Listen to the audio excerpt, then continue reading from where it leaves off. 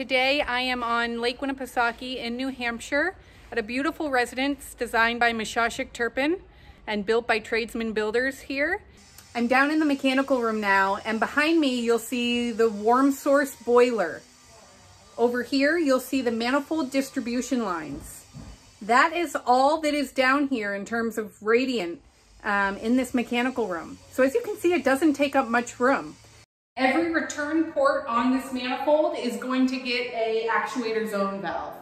Those actuator zone valves are going to plug into the manifold controllers and the manifold controllers are going to speak wirelessly to the Warmsource unit. Our thermostats take ambient air temperature readings every minute, meaning that uh, if a cold front comes in on this lake, the system is automatically going to modulate the water temperature up to make sure this home is getting enough BTUs per square foot. If it starts out as a cloudy, cold morning in the shoulder months, and then the sun comes out like it did today, um, the thermostats are going to take their minute readings and they're going to automatically detect that this home is gaining BTUs and they can modulate the water temperature down. It's always going to be running at the most efficient rate it can.